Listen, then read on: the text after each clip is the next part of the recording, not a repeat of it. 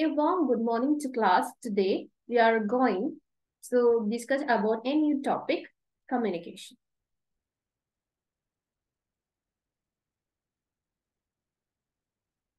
Let's have a look at our presentation.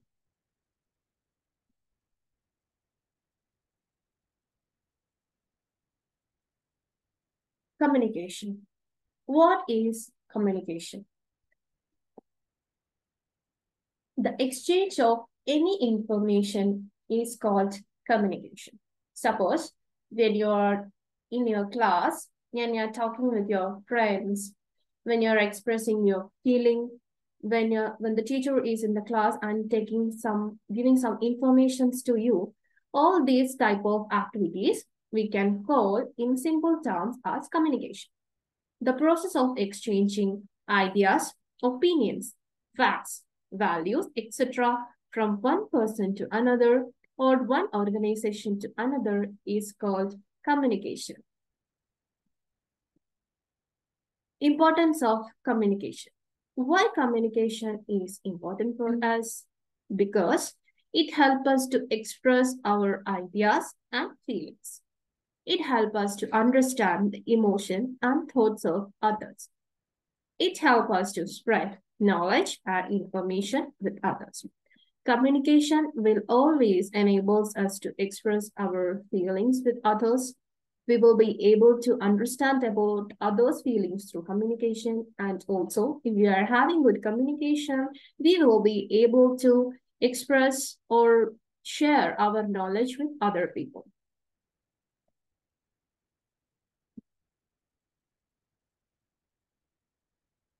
Now we are moving to types of communication.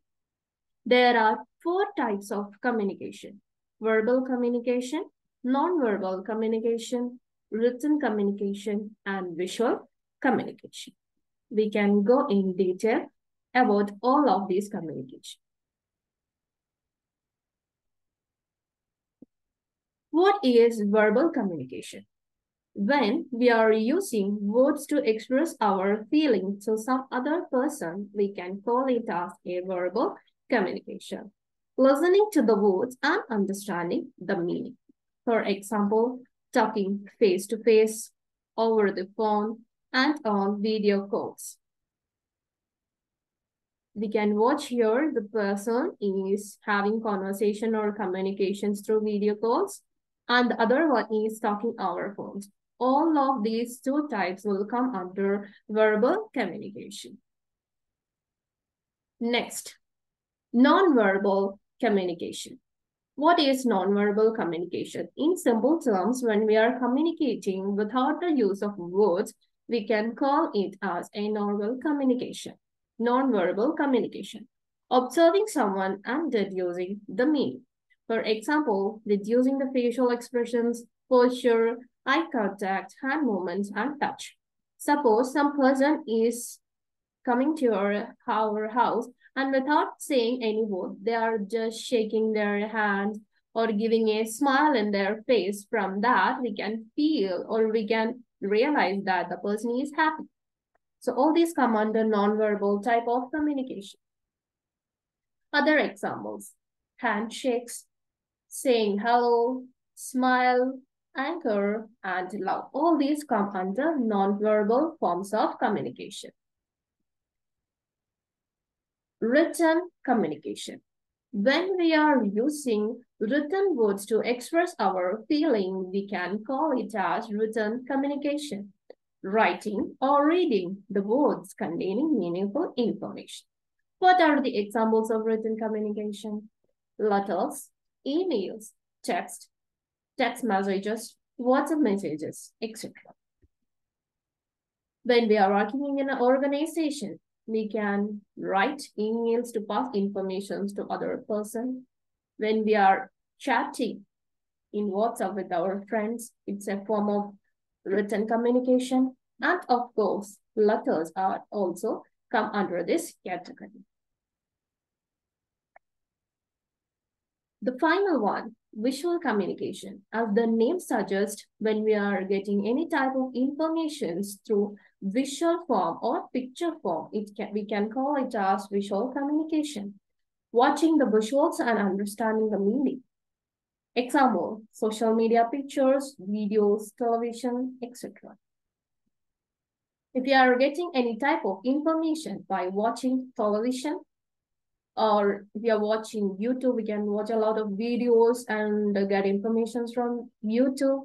Or if you are using any type of social media platforms like Facebook, Instagram, Twitter, all of this will come under visual communication. Now we can move to a quiz in which you will be learn more about the type of communication and your learning will be more stronger.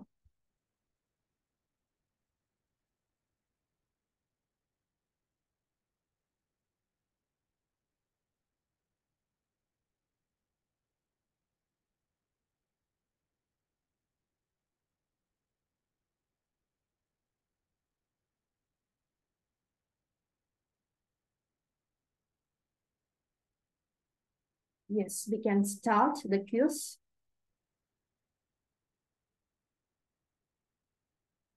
You need to find out what is this type of communication. The person is asking some questions to the other person. Of course, they are using words.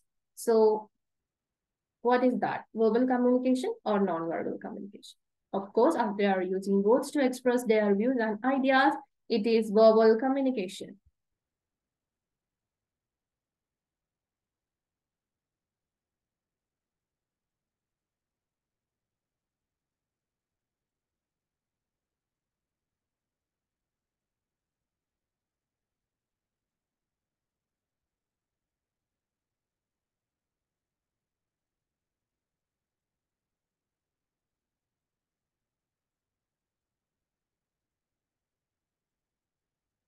Again, once again, link as it is not working properly.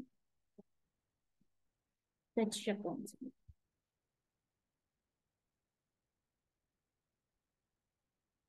We have answered this. Next, the person is writing some informations to pass the information to other person. So it will come under verbal communication. Here the person, without using any type of words, using a facial expressions to keep silent. So, of course, it will come under nonverbal communication. Yes.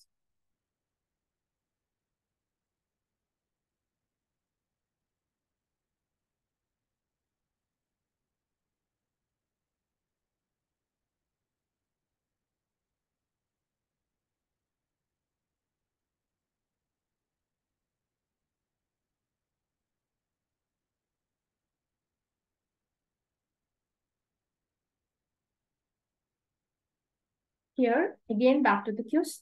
The two children talking to each other using words. So it will come under verbal communication.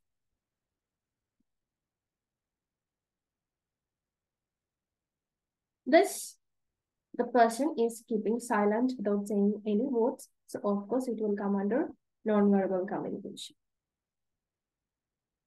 Okay. This will also, of course, come under our non-verbal communication because all these are expressions. Let's go back to our slide. I believe if people get more idea about uh, communications by doing the quiz. That's all about our class today relating to our topic communication. Thank you, class.